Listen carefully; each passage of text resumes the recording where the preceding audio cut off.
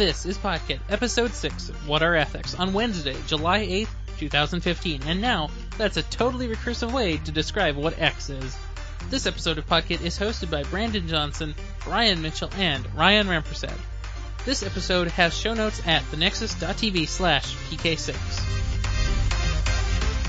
It's been a week and a half since last one. Yeah, lots of lots of things have happened since then and before, between then and now, which is awesome. Lots of stuff. For example, Ryan has some updates on the Zenfone 2, eh? I do have some updates on Zenfone 2. What what what what happened over this uh, last weekend? Any uh, like uh, holidays or anything? Uh, psh, I don't know. It's like I feel Canada free. Day or something. I think. Something about freedom and fireworks. What? And Uh, bald eagles and American flags. And, What's a firework? I'm not sure. I think you put your bald eagle in it and it explodes. Is that right? Oh, that makes sense. And then it's So the, it's the like- fuel of the of, of the of the rocket the firework is on is uh, is literally ground up flags. Oh wow. huh? I had no idea. And that that's why when it comes out the, the part of it's red and part of it's blue. Nice. All the things they don't teach you in Boy Scouts, eh? Exactly. Yeah, so did you have a good 4th of July? Yeah, my, my Fourth of July was awesome. Got to spend some time with family. Um, had some fruit pie, some amazing fruit pie because Oh, fruit pie good. is fun. Yum. Yeah. I I was with family, saw family every day of the weekend, Friday, Saturday, Sunday. My Yeah. sister came home from Mexico, where she's studying abroad, on Saturday, so it was good to see her. That's great. That's Yeah. awesome. Yeah, I went down to uh, Minneapolis to watch the Minneapolis fireworks. That was pretty fun. Ooh, yeah. How was that? Well, yeah, you just answered. Yeah, Awesome. it, it was actually a lot better this year because uh, I took the train down there this year with our, you know, um, folding camping chairs, and we just sat Whew. there for an hour and a half waiting for the fireworks, just hanging out, and it was great. Nice. Nice. Yeah. it also I'm a- turns out that on if you try to go to campus before you go down into Minneapolis trying to get dinner on Fourth of July on a Saturday, everything's closed. Turns out. Oh my gosh. Seriously? So like, somewhere. even like Applebee's? Uh, like there was no there, there were no cars in the lot, so we assumed it was pretty closed. Oh my gosh, that's crazy. Yeah. That's so weird. hmm But yeah, otherwise it was great. Yeah, that's awesome. Yeah, well, I've I've I've heard that the fireworks in Minneapolis are really quite cool. Have Have you gone in the past, or is this the yeah, first we one? went uh we went last year also. Nice. But last year when we went, we decided to park in this parking ramp. And being as clever as we were, we thought, hey, well we're on like the eighth floor of this parking ramp. We're on the top floor, you know, it looks nice. We can totally see the river from here. Well, it turns out the fireworks were literally behind the building across from us, obscured. Oh, jeez. So we could see like half of each explosion, and that's it. oh, yeah, that's the worst. So this year Yeah. we got a much better spot, and we knew what we were doing. That's good. Yeah. Nice. Yeah, there was um one one of the buildings where um where people in my office sometimes work has just like a great view of the river. Yep. So there was some talk about like about like oh maybe we should you know jokingly maybe we should just like all hang out really late on on the Fourth of July and and see the fireworks. But yeah, for some reason That didn't work. Yep. It didn't happen. For some reason like nobody liked that. Like facilities didn't like it. The people who suggested it didn't like it. Yeah. I It was don't good as a joke, but bad in real life. Yeah, who knows? But buildings, what are those? I- I hours, operating hours, what are those? Shelter. What is that? You know, things to make sure that people are treated ethically. What what are Get ethics? time off. Yeah, that's that's really the that's really the question there. What are ethics? Yeah. What are ethics? Mm-hmm. But Yeah. any which way, I I don't Go know. market. Oh lordy, Oh, ho, ho, ho, we got one. yeah, that that was a good one. That was a that so was a real. so you wanted to hear about my phone, is that right? Yeah, I was gonna say I really I really want to hear about what's what's what's up with the Zenfone 2 because I just got my T-Mobile SIM in Hey, there you go. the hotspot Yeah. right here. I just So need did to you um, did you order your SIM card from T-Mobile or did you just go get it at a store? You know I ordered it online because they had a promo where you could actually get it for free. Excellent. So Very I was just like, put in a code, get free SIM card. Yeah, I feel Yeah. like um that that free SIM card thing was part of one of the um what do you call their deal? Um Oh yeah, uncarrier talked about this last movements. Yeah, it was one of their uncarrier perks. Like, oh, why, why do all the carriers charge for SIM cards? Yeah, We don't. Yeah, something like that. good Even though they totally do. Four for you, T-Mobile. Yeah, they totally do. It was like 15 bucks at Target, and I was like, that's that's silly. At, Yeah. at three, the carrier in the UK, they were giving away SIM cards for free. Yeah, here, here, you have a SIM card. Because sorry about it, T-Mobile, but three is the original uncarrier. Ooh. Ooh. They don't even need the slogan to prove it. no, they're just three times better. exactly. hmm So here's the Zenfone 2. I've got it here in my hand. It's uh, it's running, it's going, and actually, as we sit here, the porting process is running Nice. allegedly. So says Straight Talk website. It says port in progress. So I think I've had it for about a week now, and yeah. it's not my phone, it's my mom's phone, but of course, uh, knowing, knowing me and being in charge of phones here, I'm the one who's leading the progress here. Yeah. And so I've installed all of her favorite apps, which includes barely any apps, because on Nice. her current phone, she really can't use many apps because she has no space. Yeah. You know, 8 gigabytes is not a lot. But on the Zenfone 2, 64 gigabytes of storage, just, just Oh ready gosh. to go.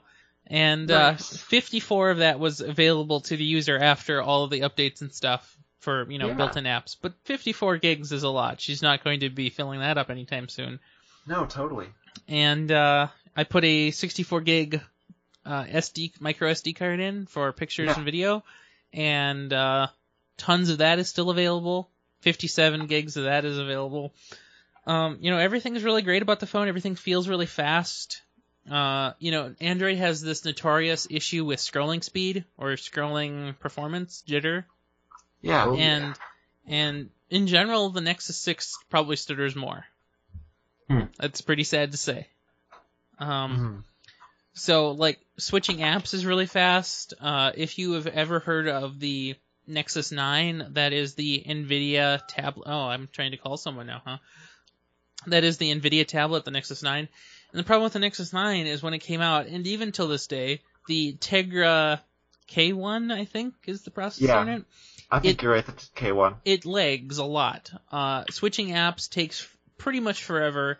Um, at least one or two ice ages pass between app switching, and you know, among other things, uh, this phone has four gigs of memory, so you'd assume that it can take tons and tons of concurrent app openings and not suffer any like slowdowns for clearing up memory or garbage collection or anything.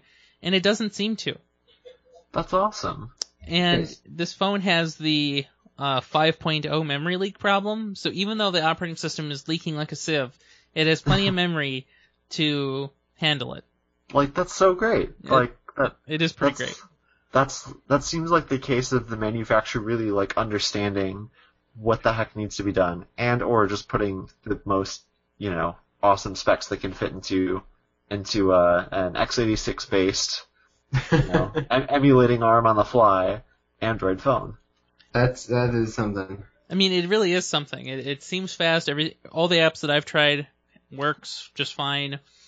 Um, so right now I can't give you like a speed test because I am currently in the porting process and my SIM card is currently unactivated. Yeah. But uh, I was testing last week with the Nexus 5 on Straight Talk, and this week I was testing with this phone on Straight Talk. And for the most part, this has better signal quality than the Nexus 5, oh wow. which is So funny. sounds better in every way. Yeah, I think it, I think it might be. So the one thing I don't have conclusive results on is the battery life, and it's really hard to test battery life because my usage patterns are weird because I'm playing with the phone instead of just using the phone. Yeah. And of course, I have my Nexus 6, and of course, even if I got usage for me, it wouldn't be what my mom will use the phone like, so it's kind of hard to tell. So I'll, I'll tell you about the battery life further along, but I will tell you that if you leave the phone, uh, if you use the phone like you might typically use your own regular phone, it probably will last you easily a day and a half. Oh wow. And if you don't use your phone, like you literally just let it sit there and shun it and maybe check it once every couple hours, it'll last like th- two or three days. Nice. That's awesome. And uh, I would have to say that's pretty great. Yeah, that sounds pretty darn amazing. Now, there is this one time, though, that I put the phone in my pocket and uh, just just forgot about it, wasn't playing with it, you know, went off to do other things. And then I come come back to it two and a half hours later, and I noticed that it lost 45% of its battery doing nothing. That was pretty weird. I did a quick restart, and uh, that weird battery draining issue went away. Huh. So sometimes there just might be little weird quirks. You know, it could have just been an app going crazy or something. I don't know. Yeah. Huh. Yeah. Very, very weird. hmm So uh, one more thing about the phone, or it's really about Straight Talk. So the way T-Mobile does porting of numbers is you get a SIM card from T-Mobile, and then you can just port a number in, and whatever number was on that SIM card before just go, vanishes, and you get your old one back somehow. That's how I Uh-huh. thought the porting process here for Straight Talk would work. Well, apparently you can only port in a number upon activation, which is kind of sucky if you want to test the service first. Yeah. Well, so I contacted customer service and they can do it. It's just not an automated process, which I guess is fine. Um, but you need, you still, even if you want to port in a number, you need a new SIM card. Like, I guess for some reason they can't change the phone number of a SIM card, which is really weird.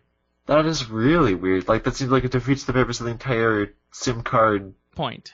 thing. They're Yeah. tiny things though, so it's probably to save space they made it read on, or write only or something. But T-Mobile can do it, so I don't understand why Straight Talk slash AT&T can't. SIM cards are so tiny, I have a hard time imagining how they even work. Eh, solid state memory is cool like that. Yeah, I suppose. So what I did, and this is like super hacks. Now, if you recall last week, I told you like there's like eight SIM cards in that package. Yeah. Well, in each package, it comes with a micro and a nano AT&T SIM card among the other vendors. So what I did last week is I put the uh, the the micro in, and so that's what I was doing the testing number on to see what the service is like. Well, now that we want to do the port, what I did is I used my old nano SIM to micro SIM adapter and put the nano SIM in, and I'm using that for the new number, the porting number. That's Hmm. awesome. So I didn't have to spend ten dollars to get a new SIM card. Haha, what now? Straight talk. Nice. That's awesome. Yeah. No, that's so cool. Well, it's it's it's cool to hear both both your your thoughts on the phone and and on the network too, because like I I never really thought that an Asus phone would be a thing, and now that it's a thing, you know, I mean it's it's been a thing for some time, of course, because this is the Zenfone 2, not just the Zenfone 1. Well, the Zenfone like- 1 was kind of a joke phone. Like, it had awful specs, awful screen. Whatever Yeah. deal they cut with themselves and Intel, this is, like, leagues better. No, totally. And like, didn't didn't they have something before that was called like the Pad phone, and everyone Oh, made yeah. fun of it Yep, because pa- it was like, pad phone, phone pad, and of course they had the Zenfone 3, 4, and 5.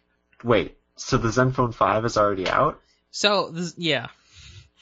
And, not only that, occasionally you will see that the Zenfone with an F and the Zenfone not with an F exist also separately and not separately.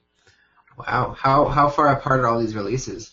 Oh my gosh. They've happened over the last couple of years. I, Okay. you know, because they were never really a big contender with the good phones, you know, like the Galaxy phones and the HTC One phones and the Nexus phones. I never really paid attention to them before, but now that they don't um, have terrible specs, I guess it's kind of nice to pay attention to them. This is like, oh my gosh. Yeah. Brain hurting. Yeah, Oh lordy. It's like, you know, it, stuff like that is why I, like, the Apple model, I mean, well, Apple of course has its own model number issues, but, um, but like, at, at least, at least it's like, Okay, here. So I've got a Yeah. full I've got a full list of, of Asus phones. They just released this, in fact, a couple of days ago. The Pegasus 2 Plus, because that doesn't even have the word Zen in it. But then you have Okay. the Zenfone 2, Zenfone 2, Zenfone 2, Zenfone Selfie, Zenfone 2, Oh, Zenfone no. 2, Zenfone C, Zenfone 5, Zenfone Zoom, another Zen 2, Zenfone 5 LTE, Zenfone 4, Zen or Padphone S, Padphone Infinity Lite, Pegasus X002, Zenfone 5, Padphone X, Padphone Mini, Padphone 4, Padphone 6 even, Padphone 5 again, Padphone Infinity second generation, Padphone Note FDH6, Padphone Infinity, and finally the Padphone Mini 4.3. oh man. That reads like the, uh, the iPod You know, if you just look at the straight old iPod, iPod first, second, third, fourth, Yes. fifth generation. But it's Many- funny because those are not in order. Like first, second, third generation, those are in order, but these were not. Yeah. Yeah. So it adds an, a whole other. Oh my gosh, Yep. that's unbelievable.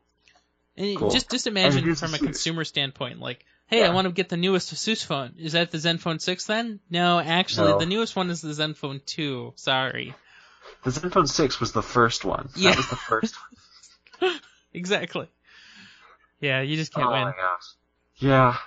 Oh lordy. Yeah. Wow. Wow. Cool. Good for good for good for Asus then to make that happen. And thanks for the thanks for the pronunciation there. I I'd never actually said it out loud until this podcast, which is a fun thing you learn on podcasts because Yeah, you know, for weeks I had been calling it the Zenfone with a PH, but now it's a Zenfone with an F. And oh I, I had to train myself to stop doing it wrong. How do you? How could you ever get those mixed up? They're so different. I, I had no idea. totally. Yeah. So I have some phone follow up. I've in Yeah. my further investigation for studying abroad. Yeah. There. So since I will be there over 180 days, which is what the tourist visa is for Denmark, I will Oh, yeah. apply for a visa there, which will be in the first couple weeks after I arrive, which is fine. Um, but I for cell phones there are many most carriers require you to have a CPR number, which is comparable to a social security number here in the U.S. Yeah. Mm. So that rules out most of plans. So there's an American one where I could get, you know, a, I don't know, 10 gigs of data, I don't know, 20 hours of calling or 10 or something, unlimited texts. I think I could even call home for really cheap for like $90 a month and that's charged in US dollars. And that's, that's actually like kind of a lot. There are Yeah. less plans, but two gigs of data and I kind of want more, but so Yeah. there's another plan that does not require the CPR number. It's only for in Denmark. It's I think 10 hours of calling. It's per, paid per month. Um, unlimited texting within Denmark, and four gigabytes of data for what translates or what converts to $19 a month. Ah, that's pretty good. What? That sounds awesome. So that's hopefully what I'm gonna go for if all goes Yeah. well. So Yeah. That's and so you have LTE in cities area and in Denmark. So when you're there, are you going to leave Denmark at all to go sightseeing or anything? Or are you just stick, yeah, I'm sticking going in? to Norway for a few days Yeah. as part of a class. I'm Mhm. going to go to Sweden once or twice to see my cousin. Um, Nice. I'll probably travel around. That sounds good. I have a couple breaks. I have some other friends who might be over in Europe, so That's so cool. Yeah. Um. This. So, I don't mean to derail this and put this back on the cell carrier, but um, uh, are d- does that like like okay? So you're what you're talking about there is like contract plans, right? Or not really contract plans? the one I just described was a per month. I think you you make an account, you Yeah. order a SIM card, you they mail it, and you buy like cards and gas stations Yeah. Yep. at your Yeah. account. Kind of So it's it's like pay as you go, but it's not really pay as you go. It's just prepaid. Yeah. yeah, Okay. Correct. Gotcha, gotcha. Because pay as you go would be like, here's another two gigs of data, but it's you're you're paying for it before you get the service. Mhm. Okay. Yeah, nice. Because I was, yeah, it's it's. I think they might have a require- couple different options, but for the student one with a little package, that's what I saw. Yeah, nice. It's just kind of weird that they. Well, it, I guess if if you're looking at like contract stuff, it kind of makes sense that you want a their equivalent of a SSN, a CPN number. Yeah, it makes sense. But but I don't know. Oh, it's it's cool that you found good options there, and oh my gosh, it sounds like so much fun. I'm excited. Yeah, yeah. Well, we're gonna Pod, Podkit is going to change dramatically because uh, well, we'll be we'll be recording it probably weird hours, and uh, We're going to go international. that's right, that's right. We're gonna go international, and it's World's gonna be first, awesome. right? That's right. That's gonna be so cool. Yeah. So, on a different note, um, in my ever ever going troubles with Windows that I have over my whole life, so I'm copying stuff from my server via I don't know whatever Samba or whatever it is, Yeah. the actual hard drive. Apparently, Windows caches all that on your computer, and now I have zero bytes free on Windows, and I don't know where it's storing it, and I can't download any application or anything to investigate it. That is horrible. This this happened to me once before, but I had at least enough megabytes to in, to install something on it to see. Oh gosh. Yeah. Windows. You'd think it would cache it. I just think it's kind of funny because it's. No, totally. I don't know. I'm browsing my my app data folder right now, mm, You probably won't get too much in there. but I'd imagine they'd put it in my user account thing. It's probably some system cache thing somewhere. Yeah. I mean, Windows is not the um, most logical of places, so if you think it's somewhere, it's probably not. Yes, that's true. Also, um, well, we'll talk about this later. Hey Ryan, you want to talk about Wargame? Oh Yeah, sure, sure, war game. Hey, you know everyone, you know I, I every every few months I just boomerang back to this horrible thing I've been doing for like five years. Ah, the good old war game. Here we are again in Rust again. Rust is what I named my cat after, but it's also this programming language that's supposed to be for systems and really secure and really really great for safety and stuff And fun. and and a lot of fun, uh, mostly. Uh, unless you have to deal with uh, weird borrowing rules because of rustiness. Well, so this time I have upgraded the Rust wargame because between December of 2014 and now, the language has gone from version 0.13 to 1.1, and as you can imagine, things have changed. Lots of things have changed. Um, so name package names have changed. Um, syntax has not really changed too much, but uh, type names have even changed. Uh, Oh my gosh. It, it used to be uint, and now it's usize. Uh, Hmm. And I think that is a fair change because uint sounds a lot like unit, and um, when you're typing fast, it's easy to get those things confused. Yeah. So uh, there was a lot of changes, and I finally figured out how to uh, reconcile those things, and pretty much everything ported really easily over. It was mostly just name changes and package changes, so that was good. Um, I've also upgraded the way the war game, I don't know, determines how long it needs to run. So before, it was doing this thing where if a t- uh, wh- where if you had a faster running war game, it would look for periods of time where it didn't change a lot. Uh huh. And that sort of worked, but it also turns out was not scalable for Rust. Because this worked really well in Java, because Java was really slow, and as far as I could tell in my testing, really computers couldn't go for more than, you know, 38 war games per millisecond. And that meant that you didn't have to wait more than 40 millisec- or 40 seconds uh, for a period of stability. Well, in Rust, it goes a lot faster. On my computer here, uh, the one I'm recording on, I can get um, one or 108 war games per millisecond. Nice. So it's much faster. Using Yeah. the same system, though, I would have had to wait 108 seconds for the stability test. And that's only if it succeeded, because if it failed, I'd have to do it again. Yeah. So I changed the algorithm, and so now we're doing something a little bit more maybe scientifically and statistically relevant. So I'm using what is known as the coefficient of variation. You can tell all your professors about that, right? I do know about the coefficient of variation, even though I did not take statistics. That's awesome. So so basically the coefficient of variation, oh my gosh, it sounds so horrible to be saying things like this. Basically it is the ratio of standard deviation to mean. And what my program is doing is it is checking for when the ratio is approximately 1%. So in other words, when is the standard deviation 1% of the mean? And the reason this might be better than what we had before is if a computer is really jittery in its speed, so it's cooling down, it's heating up, it's throttling, or maybe even you're doing something with the computer, you're interacting with it, stealing cycles away from the war game, it'll punish you by making it uh, take longer. Um, I th- so it's pretty cool. Um, it, it's looking for one percent uh standard deviation to mean. So if you get a score of, or if your speed is like 30 games per millisecond, the standard deviation between those game speeds should be somewhere around one percent, Nice. ideally. Um, so we were we were doing some tests earlier. So my computer gets 108.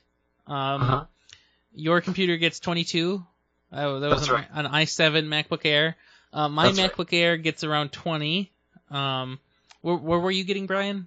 My MacBook Pro running uh, a i7 3820QM, which is a quad-core with hyperthreading, uh, scores a 23 when running Windows. Um, and then my desktop, which is a 4770K that's not overclocked, running OS 10 while doing Hangouts, the Fringe, ton of tabs, and not in an ideal state at all, uh, scores a 37. So those numbers Nice. are really strange to me because I feel like you should getting be getting way higher numbers. Yeah, like I just finished running it on my um, A6 um, from a couple of years ago, my AMD A6, and uh, with with four threads because that's a thing I think. Yep. Um, it uh, scored 18, which is worse than my MacBook, but only slightly, which is essentially my experience with this computer built in general. So You know, it'd be awesome. kind of interesting. So, like, I don't have the numbers from what you guys have run previous the the Java version on, yeah. but the gulf between performance between the Java version and the Rust version is huge. Like, my computer was getting uh 30 on the Java version, and it gets 108 on the Rust version. That's that's huge. Totally. Were you running Windows or Linux or? Uh, yeah, that was that was Windows. Hmm. Um, I'll try that with my desktop. on uh, on the Linux computer, I think I was getting an eight on the um, Linux computer, and then I was getting a twenty on the on the Linux, or no, actually a thirty on the Rust version. So eight to Hmm. thirty is pretty big. Yeah. And, yeah. I mean, just just native performance, man. Everybody should get some. I think uh, on my MacBook Pro, I don't think I did that bad on the Java version, but it seems a lot worse with Rust. Right. So it Uh, makes Windows. you wonder. Yeah. Yeah, Windows is bad. Nobody should use Windows. So the Windows has a system disk cleanup section, which of course doesn't find this cache. Of course not. Sounds right. And so now, of course, I Google search Explorer, but that means Internet Explorer. So Windows Explorer. And, oh, and Internet Explorer is still up there. Clear your cache. So, dear listeners, if you would like to, I don't know, uh, verify my scientific and st- statistical prowess and tell Do me if this is good or not, uh, feel free to let me know. I will put a link to the actual source code for this particular part of the test uh, into our show notes. It, it, you know, it's not a very complicated test, and it's almost more elegant than what I had before. But it does mean that it's also still almost completely arbitrary.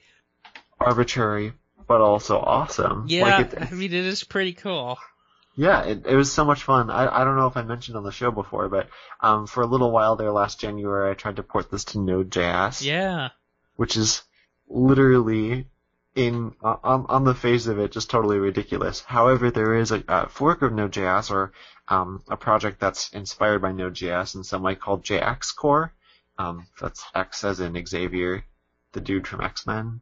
Oh wow, that's totally a recursive way to describe what X is. But anyway, anyway, market, I guess. Um, the the um, it, it's it's a multi-threaded version of Node, sort of, and I'm not really sure how it achieves it. But in my testing, basically, it's still essentially unusable for it. I'm gonna keep trying at it now that it's halfway through the summer and I have some more breathing room to to try out stuff like that. So that should be really fun um, if that ever happens. But it's it's so it's been so cool to pour over your source co- source code in the Java version and in the Rust version Well, to see so- just like I, I, what the heck you're doing there. I feel like I might have to redo the Java version, especially with this new, you know, uh, statistical analysis change.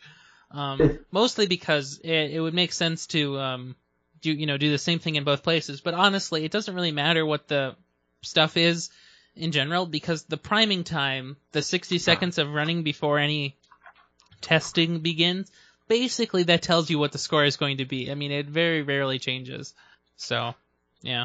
Totally. Um, I was also looking, you know, since you mentioned the the Node.js version, I was looking at ASM.js, and if you Uh-huh. have ever heard of ASM.js, it's basically a subset of JavaScript that is super performant, and it's what a lot of um, of demo work Mozilla has done to show how um, the future of JavaScript is JavaScript, and so is the future of everything else. That's Is awesome. ASM was used in that joke talk about how everything will compile into JavaScript. Yeah, he- and he pronounces it JavaScript all the Uh, time. yeah, Yeah, Brian, I that was not it. a joke talk. That was a real talk. Uh, I need to watch it again. it was real. It's going to the happen. one, the one where you're running Windows 3. Point, or like Firefox In inside Fire- of Firefox To run Windows. Windows 3.1 inside of Firefox. Exactly. Uh, yeah, that talk. and it was the uh, the I think the Mac version of Firefox, which means they're somehow doing some giant emulation of OS 10 at the same time. Oh, of course they are. Unless they just have Firefox written in JavaScript. But don't worry, there won't be any drivers.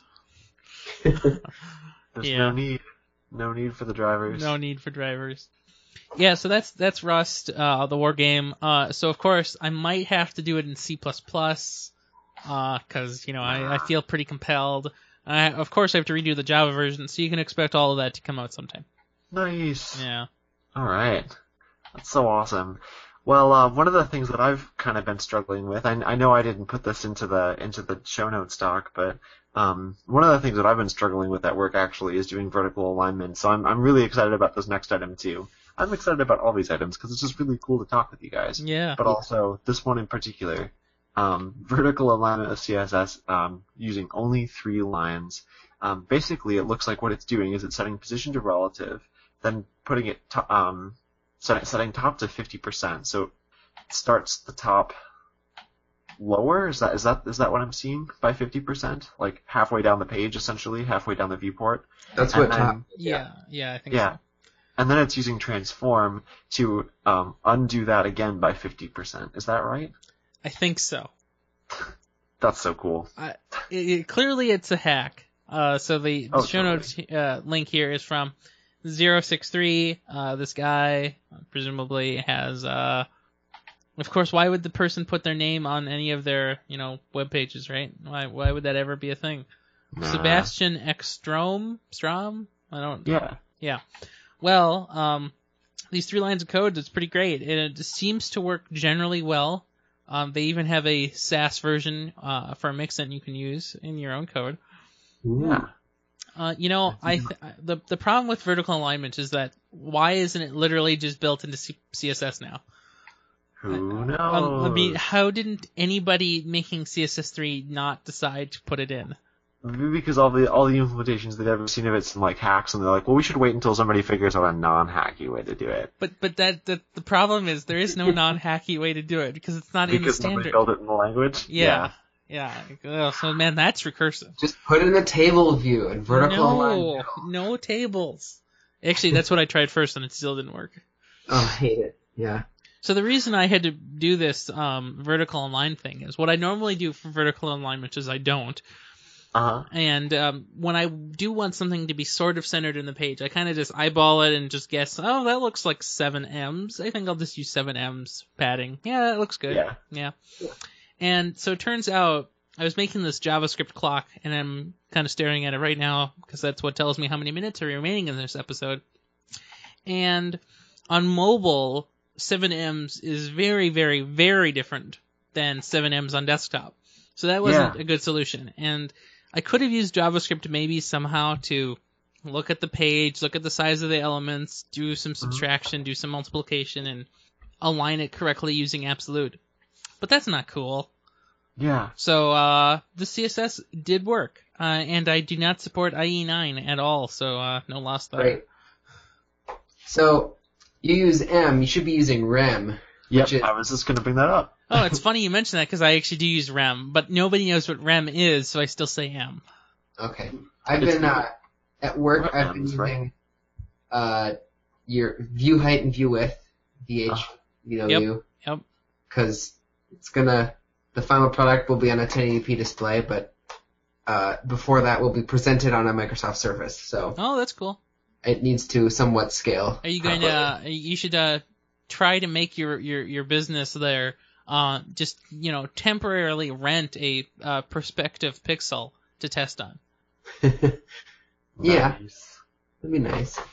So, um, my update on my where's my uh, solid state storage, the um, users, my home folder, app data, local Microsoft Windows folder has 38 gigabytes in it.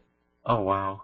Uh, that's as far as I am. Nothing is really showing, at least date modified, and of course size doesn't update on any of these. Yeah.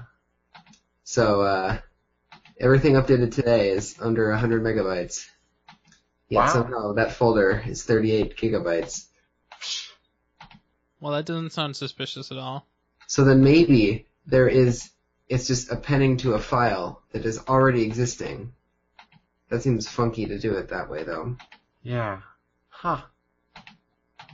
Oh, Windows Anytime Upgrade has a folder. Well, it sounds like for- we can upgrade at any time. Yeah, they reserve the space for the versions of Windows you don't have always. It was like three kilobytes. That'd be terrible. Oh, that's good. That's good. At least it's only three kilobytes. Yeah, That oh awesome. man, if it were four. Well, it it probably takes up four because that's probably what. Well, this isn't Unix. It doesn't use inodes. Or Oh, does it? I don't know how Windows works. I actually have no idea how Windows does their file system, and I don't know if I want to know. Yeah, it it sounds really scary, to be honest. Oh man, So- that. Uh, Scary as HFS Plus is, where over time things will get corrupted. oh yeah, it's, it's it's about as equally as scary as that actually. Yeah. I mean, the fact that Windows does not have native support for path names more than 260 characters is a sign that e- either A, nobody uses their computer for anything important, or B, Microsoft is insane. Possibly both. Yeah, probably. So if you guys want to take a um, a quick detour into Linux sysadmin land, Oh, I would love to. um, I don't know what that was. That was like the Mario pipe music. Any which way. Oh lordy, Oh. put a marker in. Got it. I'm it. I'm uh. th- There's there's nothing for it. I I cannot be helped. Anyway, my uh um the uh, tower that I'm using right now, right? Mhm. Um, it seems to do a file system check at every boot. Ugh. and I think that's just ever since I upgraded it. Well, uh, upgrade is a is an interesting word for it. Um, ever since I changed to using systemd instead of uh, sysvinit, um, Hmm. which is probably a thing because um, the distro I was using, um, well, it's it's essentially Debian. Um, it's Crunchbang, which is no longer with us, which is sad. Um, but the the maintainer is off to do other things like live his life, which is cool. Um, but the uh, the the system behind it, of course, is still Debian, and when Debian switched to systemd, so did my computer. Um, and it's been doing a bunch of weird stuff ever since. I think because all of the packages that are set up were maintained by this one um, this one other person, so the the UI a lot of the UI packages were maintained by this one person and people he worked with, right? Or um, to, to maintain this distro. Basically, they haven't been updated in a while, so I'm thinking about just like moving everything to a backup drive and disconnecting the backup drive and reflashing the whole thing with Fedora or Ubuntu or both or neither. Who knows? I'll, I'll have to see. But like, have you guys ever heard of that? Like, have you ever had a Linux machine that did a file system check on boot? Like Every time. every single time. Uh, it happens to me on Windows. Does that count? It maybe happened to me with OS 10 and caused 10 minute boot times for a year. Yeah. So there's no way to cancel it for you? For me? Yeah. No, I, well, not that I know of. It it doesn't. It, it's not accepting user input at that time. It's just That's- printing stuff out on the screen. That's pretty bad. Yeah, Hmm. I mean, I hope it's not that one of my drives is is gone, but it doesn't seem to have this problem on any of the other OSs I have on here, like Elementary or Mhm. um, Stone Ubuntu. That is still an OS I need to install. Elementary. Oh, it is so nice. It's it's definitely like um, the best theme for XFCE that I've ever seen. I would not pick any other XFCE theme after seeing Elementary OS. Um, Okay. I know that that community's kind of had some trouble uh, recently, one way or another, but Yeah. like they had some issue with documentation. I feel like, or no, it wasn't documentation. It was something like that. Hmm. But um, but it's it's cool that they're still doing it. Um, maybe the issue is that they were like soliciting donations in a way that made people uncomfortable. I guess, but Oh yeah, they they yeah they had a download button that said ten dollars, and then you you know you'd have to click or change it to zero to download it for free. Oh man, that was the worst. yeah, But they're they they have their their bugs are totally in a bounty system too. It's kind of interesting. yeah, yeah. I mean, it, but it's oh my gosh, it's so darn pretty, and they have it. They picture it here running on some sort of I, I don't even know what machine it's it's running, but oh my gosh, if it looks like a MacBook, but it's not a MacBook, and it just looks too darn good. That's for sure. I have an old 32 gig solid state li- laying around that hasn't done anything since it was the drive for my Minecraft server. I Yeah. should uh, flash that, so that's not gonna happen again, and uh, boot it up and USB boot it on my MacBook to see how it looks. Yeah, totally. Totally. I, I want to find that video where they have where they have it set up. Uh, it looks like they're almost all using using it on Macs, which is really funny. Yeah, the it the diehard Apple fanboys that are just more Unix or they're more Linux diehard than Apple. yeah, that's so awesome. Like that's that's so cool. Uh, yeah, I'm gonna I'm gonna be stuck in a rabbit hole if I keep looking at this, so that's just gonna be minimized. but um, yeah, no, those Linux, Linux, Linux distros, distro wars, distro, um, Distro something. it, it yeah, all that stuff. Discos, not distros, is a thing that nobody should say, but that just came out of my face for some reason. Um, yeah, so Linux is a thing, and there aren't drivers for it. That's we know. right. Well, Not no drivers whatsoever. Um, but earlier in this week, yeah, that's still technically this week. Um, I had kind of an interesting revelation about package managers. So I was trying to prototype a really quick site for a domain that I purchased a while back, but haven't done anything with yet. Um, and I realized that, um, well, let me step back. When I was thinking about the tools that I wanted to use to build this site, right, I was using um, first, first I knew I wanted to use um, Sass because I Sass would allow me to manage the CSS in what I felt would be a pretty reasonable way. hmm And I learned about um, that grid framework that we talked about a while. I, I know it as Susy. Um, sussy for me. Sussy. Yeah. Yeah, who knows? Susy. Sussy. Who knows? Pronunciation is weird. Um, but the, uh, I I wanted to use Sussy too. And then I was like, well, yeah, I, I kind of want to test it, um, with, um, you, know, ha- have, have it running in a, in a window that would refresh alongside me here. Mhm. And then I learned about this Node package called, uh, Browser Sync that I've been absolutely addicted to for work for about, um, uh, two weeks now um, browser sync is really quite cool. You just um, it, it's it acts as like a gulp task kind of, or I guess you could probably use it as a grunt task too, or any other sort of task runner you want. Um, and what it does is every time you save, it will not only do the thing where it dumps the caches, so so when you reload it'll work, but it will actually automatically reload the browser for you, which like Pretty it, it's all done in it's all done in client side JavaScript that's just injected into your page, so it's nothing like super intense, but Have you ever used uh, NodeDemon or NodeMon? Yeah, yeah. Oh, I, I, I use that too. But the th- the thing that um, I, well, I, I hadn't been able to get that to work with um, um, I hadn't been able to get it to automatically refresh the window in place, right? I I had used that before, but I always had to automatic or I always had to refresh it manually when I switched the page. Hmm. Did they have Did they have an auto refresh thing too? And I just missed it. Um, it doesn't.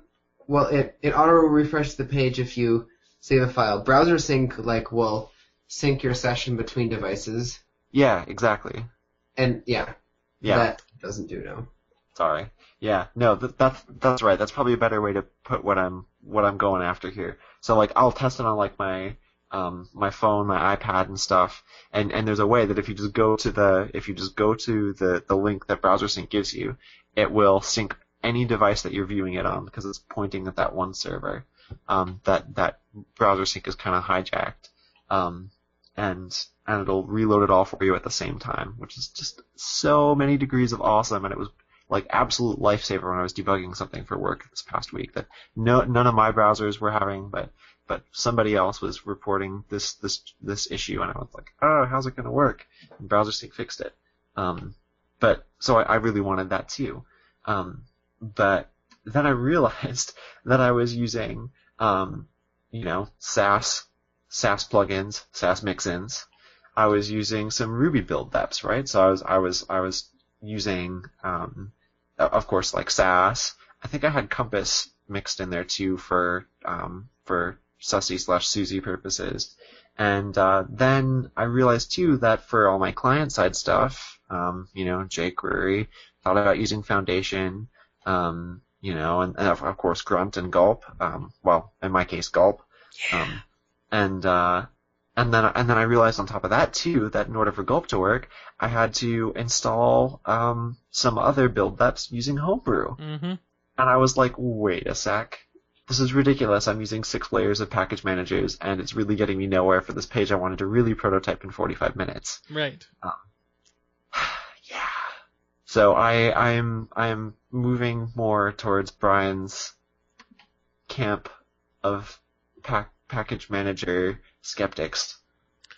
Um, I don't know if I'm a regard, because- skeptic. I'm just like, you know, sometimes this gets a little bit too complicated. yeah, I've always been a package manager fan. I think it's super fun. that You can download a little bit and then just do some stuff and then pff, it's all there.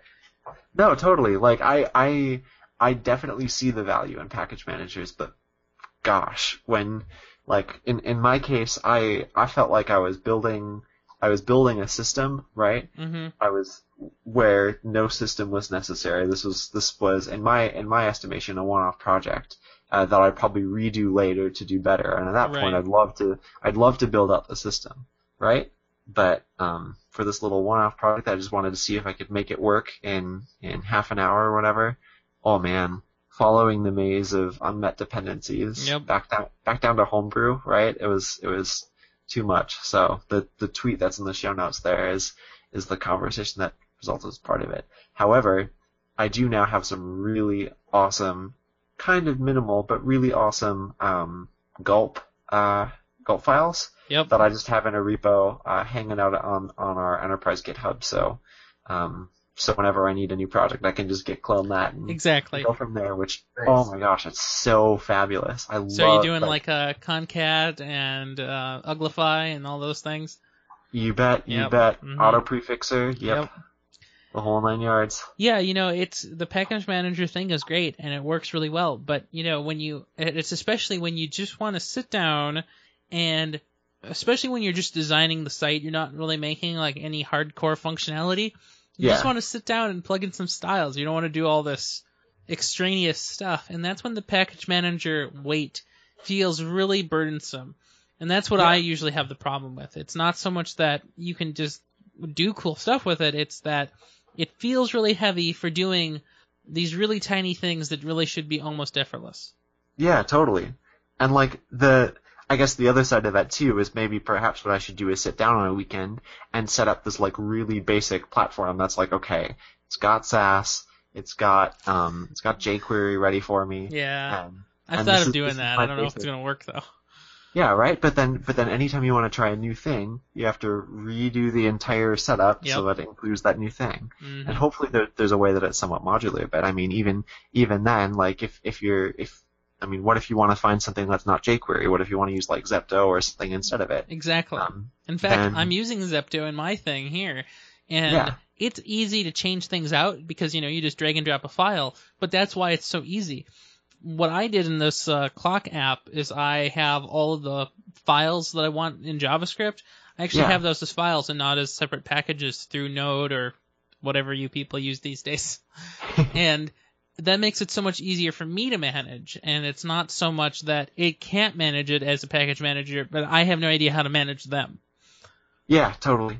Nice. Yeah. I, Yeah. I like package managers like that because you get updates as time goes on, so it's really easy to get new features. Totally. Bower update and you're done. Totally. And then also, you know, if they have new improvements, but yeah, then it's more to manage. Um, here's my opportunity to plug Yeoman and the, the wonderful Angular full stack project. It's got Yeah. everything set up. You just go, and then it just auto installs all your Node and Bower stuff. So the initial start is maybe five minutes, but after that, you're golden and you're all there. However, yeah. I think there's also value in setting up your own project from scratch sometimes. I'm still struggling with my brianym.me one. Uh, MongoDB is hard when I don't know what I'm doing. And I've depended on a generated project for the last year. No, totally. Like Mo- Mongo too. I I know that that that that platform has had some difficulty of late with like just having some weird glitchy stuff that you wouldn't expect from a database that's supposed to be backing important critical things. Um, so I like it's it's definitely not just you, and I, I know I've I've had trouble with it in the past too, but um, it's also for me I would definitely say to an even greater extent it's extent it's because I don't know what I'm doing. But um, Do, no, an- like do, that. do any of us know what we're doing? I also think like I've I've used these generated stuff because I think it's it's really easy to start off very quickly, and you can just quick modify a few things because if you see something that works, you can easily tell what you can change and how Yeah. it will affect it yeah. for the most part. But when you're starting from scratch, like I don't, I'm having a hard time wrapping my head around Express sometimes, and just like having it all set up. And I I sat down this last weekend for an hour or two to try and poke around with some, and didn't make very much progress. And hmm I I still haven't been able to even get some demo thing out of Mongo on my client, but I'll get there eventually. Yeah, no, you'll totally get there. Like, um, yeah, we should definitely at some point talk about um, what uh, what client library are you're using for Mongo because I know that's a big deal in the in the Node world. Like Mongoose. Yeah, yeah. I think That's, I think that's all that I've ever used. I think Mongoose is the right one. I think it.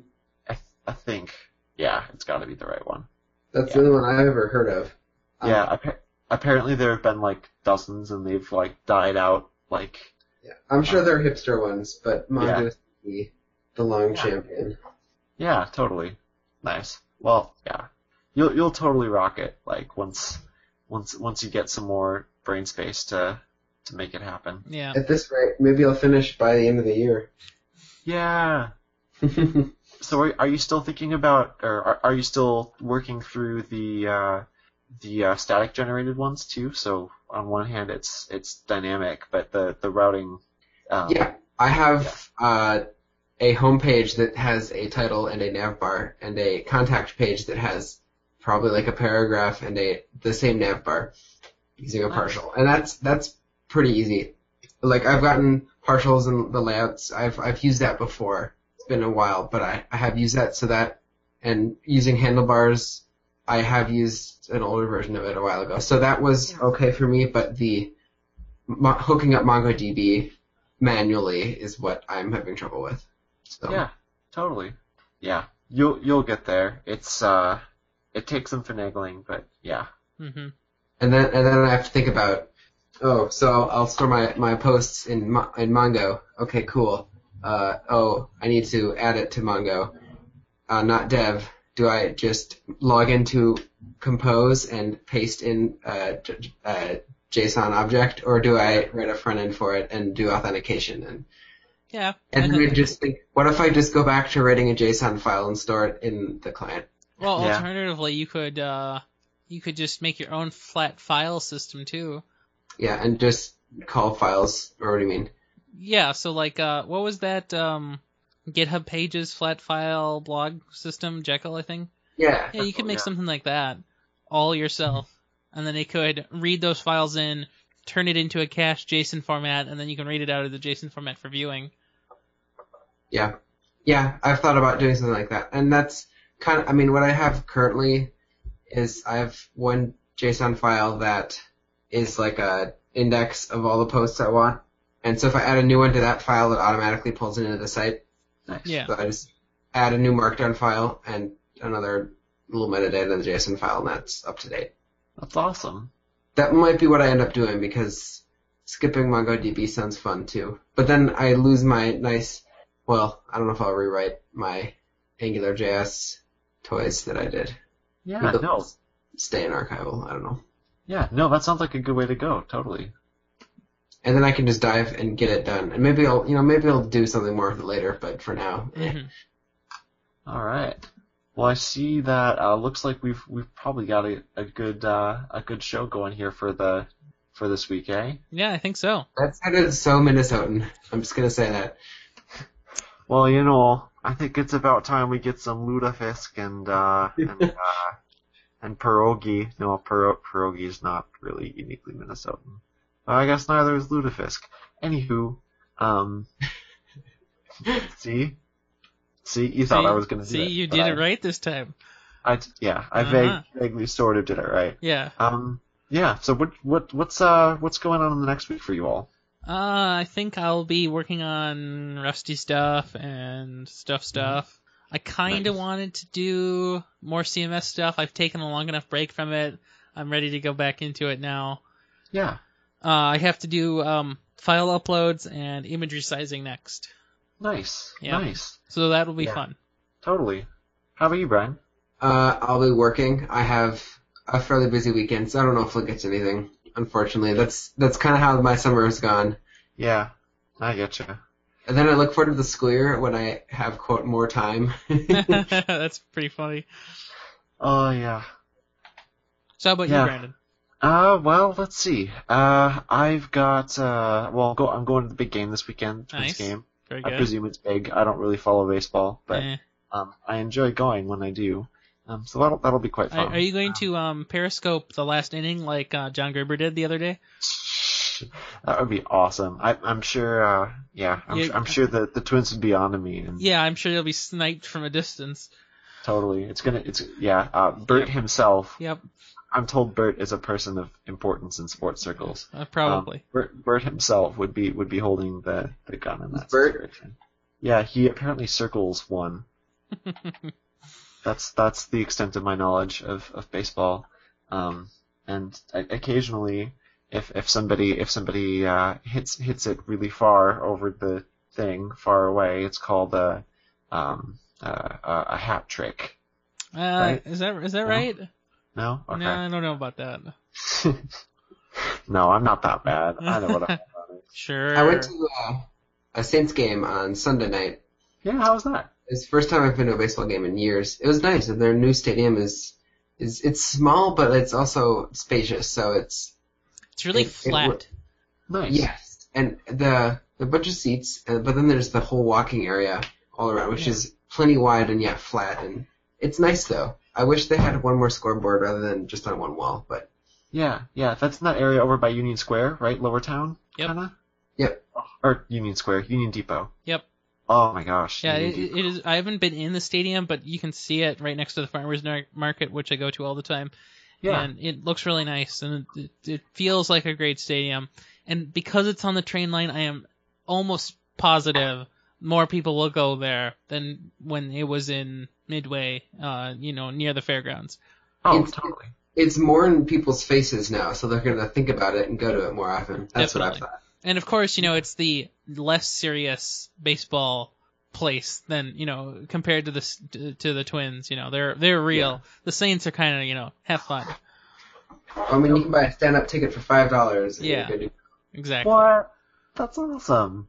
And you can just bring your own chair, sit somewhere, or just lay in. There's a little grassy area you can be, or just sit in a chair that no one's sitting in.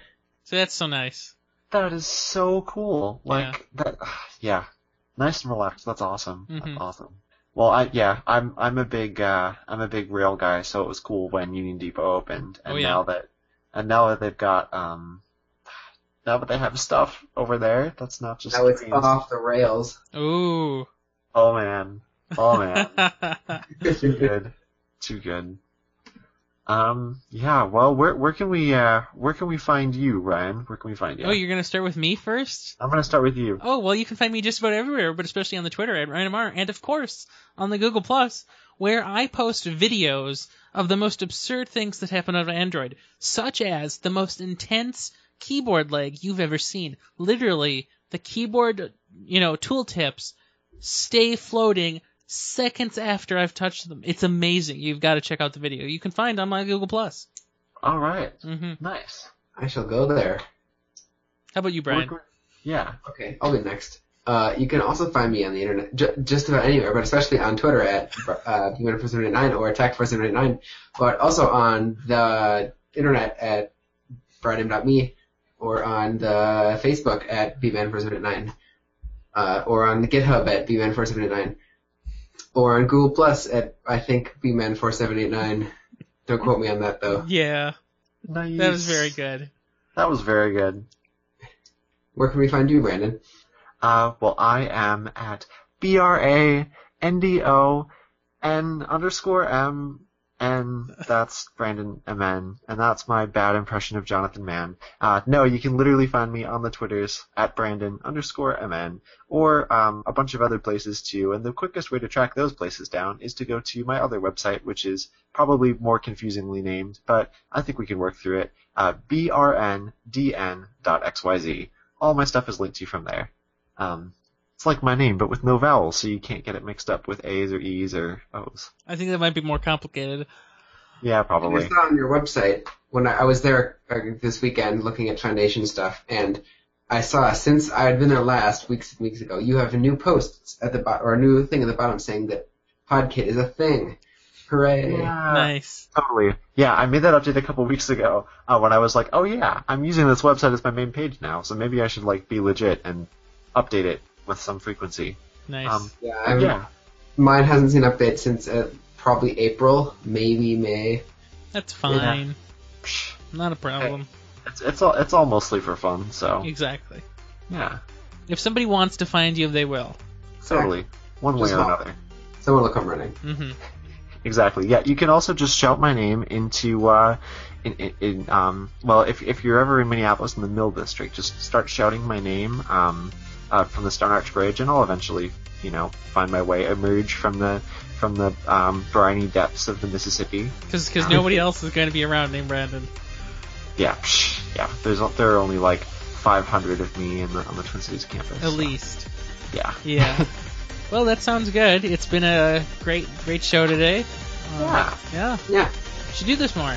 Let's do it. Uh, how about uh, next uh, th- this upcoming Sunday-ish or something like yeah, that? sure, something like that.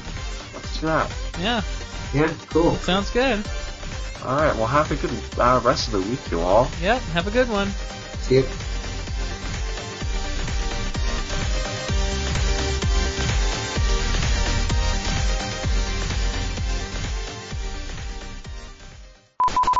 Thanks for listening to PodKit. For more, listen to The Fringe and listen to the next episode too.